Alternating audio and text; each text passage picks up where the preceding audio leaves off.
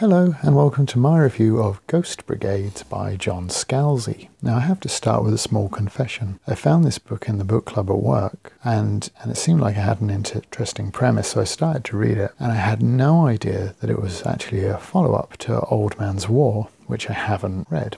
So, when I talk later about some of the issues I have with this book, it may be that some of them would have been explained if I'd read the, the first book, so I am prepared to be called a if that's the case. So the book starts well enough. It's quite atmospheric and vaguely reminiscent of some of Alan Dean Foster's science fiction. There's a man kind of being held against his wishes on a planet that comes under attack. Now, the people holding him decide they need to kill him to silence him, and like most of us, he has a desire to carry on living and a little bit of tenacity about him. So he fights them off and eventually comes face to face with the attackers, and it is revealed that he is in fact not human and the attackers are. So as well as being atmospheric, it was quite a nice little twist, and I felt so far so good. So I'll very quickly have a run through of the plot. Three alien races have combined and are planning to attack humanity. Now, a defector by the name of Charles Boutin, now I apologize, I'm probably pronouncing that wrong, but Charles Boutin has betrayed humanity, and in the work that he's left behind, the humans have found a, a, a recording of his mind on hard disk. So they decide to clone Boutin and imprint the, the, the, image of his mind into the clone and then find out what he's told the enemy. For one reason or another, the imprint doesn't take, and the clone, now called Jared Dirac, is sent to military training under Jane Sagan. Now, Sagan, as far as I know, is the only character from Old Man's War to actually feature in this novel in any meaningful way. While Dirac is undergoing military training, he gets involved in a little bit of a love triangle with uh, a girl called Pauling, and an, another fella is involved. His name is Seaborg. About halfway through the novel, Dirac starts to get Boutin's memories. In one scene that I found particularly effective, Dirac gets back the memory of his daughter Zoe and then remembers that she's been killed. Despite the fact that the military know that Dirac is starting to get some of Boutin's memories, they still send him on the final mission, which is the one to kill or capture Boutin. Certainly, the logic behind that is questionable. But that isn't the only part of the novel that leaves you scratching your head trying to make sense of the thought processes of the characters involved. For example, the military are losing special forces ships. These ships are disappearing without any communication for the most part, but to the reader, it's fairly obvious how it's being done and who is doing it. And yet, the military make no actions in an attempt to, to stop it, including sending special forces troops that are clearly compromised on the final mission. One of the missions they send Dirac on is an attempt to persuade one of the enemy factions to leave the triumvirate that is threatening humanity. Basically, the Special Forces attack the, the palace of the leader of the planet, they kill her husband, and they kidnap her baby. So initially, it's clear they have leverage. They can force the alien queen to pull out of the pact that's threatening humanity. But then they sterilize the baby, and then shortly after that, they kill the baby which seems to me that they've now lost any leverage that they had, and in far from pacifying the enemy, they have in fact just antagonized it. The way it's kind of explained in the novel is that by killing the husband, they will force the queen to take another husband that's more sympathetic to the human cause. Um, which, of course, is all well and good. You could certainly see how they would do that with leverage, but they don't have any if they've killed the baby. And I think that the way that the book kind of explains it is that by killing the baby, they save the queen from the embarrassment of having had her baby sterilized by her enemy, the embarrassment of which would have seen her lose face to the factions that support her, and then she might have lost her position of authority. Now, if you're listening to that thinking, oh, this sounds like political intrigue, perhaps in the way of Daughter of the Empire, or perhaps even Game of Thrones, um, you'd be wrong. This happens on pretty much a single page of explanation. And that's true of a lot of the issues that Scalzi tries to put into the book. Most of them seem to be there only to be mentioned and then never brought up again. Another thing is that how much of this book seems to be borrowed from other work, and often better work as well. For a little while, there are parallels drawn between the creation of these clones and the Frankenstein story, but after perhaps five pages of, of knocking the idea around, it's never brought up again.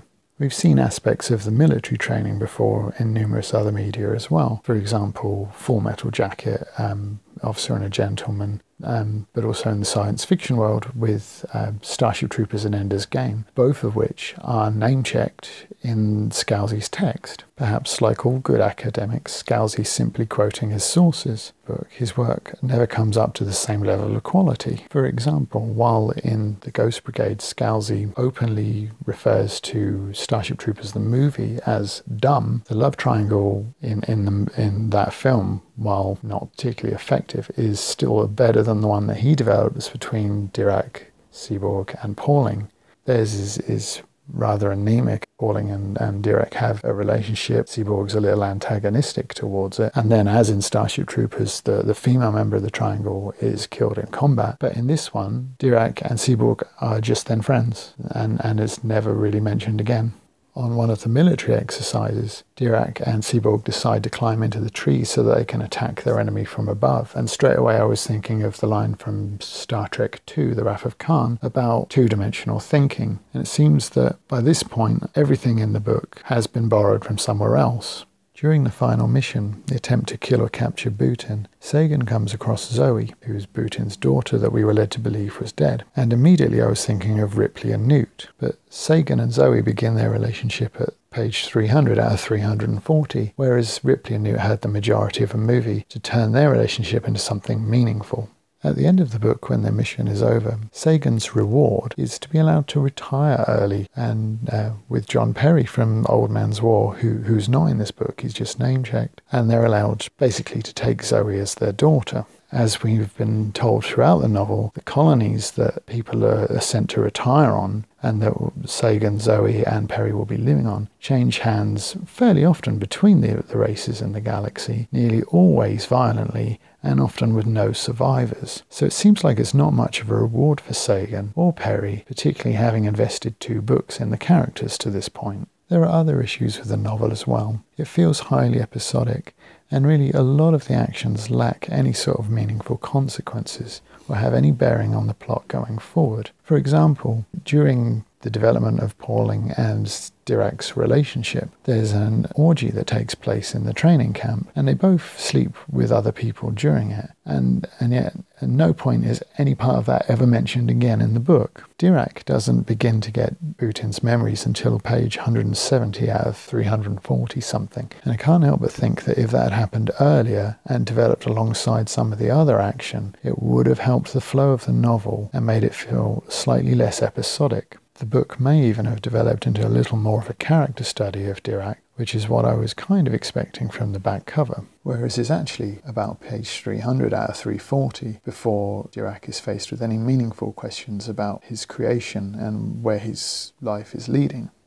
The action sequences that are praised in the Washington Post as blood roiling um, well, perhaps blood roiling has a different meaning to what I thought it did. It is an American word after all, and I am an Englishman, but I found them to be rather dull because basically all that happens here is Dirac and the other squad mates are just mowing down nameless, faceless people. And that leaves Scalzi with a little bit of a problem in that his action sequences read along the lines of Dirac did this, that Enishan did this, and it all becomes a little bit repetitive and dull. You compare the tension of, of from, from Star Wars, you know, uh, Luke and Darth Vader facing off with, with Dirac killing people that we've no exposure to whatsoever before their death. Unfortunately, as a result of Scalzi's writing style or ability or even lack thereof, there's no tension, no excitement.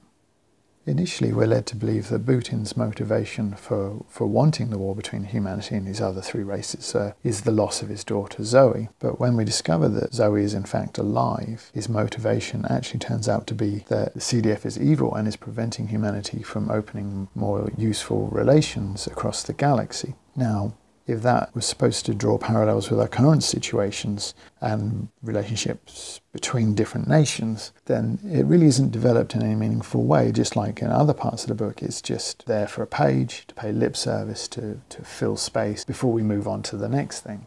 Either way, his motivation for wanting the war feels unsatisfactory to a reader, as does in fact the Obin's reasons for agreeing to it.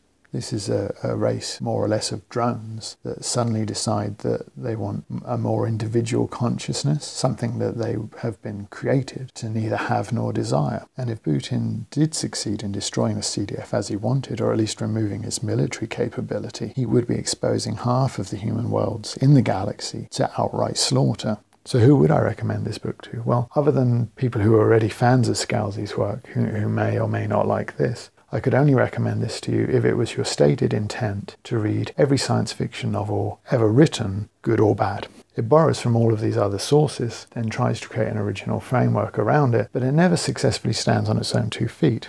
Well, thank you for listening to my review of Ghost Brigades by John Scalzi. Feel free to click like, dislike, comment, slander as your uh, opinion dictates. This is only mine after all. If you enjoyed this review, even if you agreed or disagreed with it, there are plenty more on my channel, so feel free to check them out as well. Thank you very much for listening. Goodbye.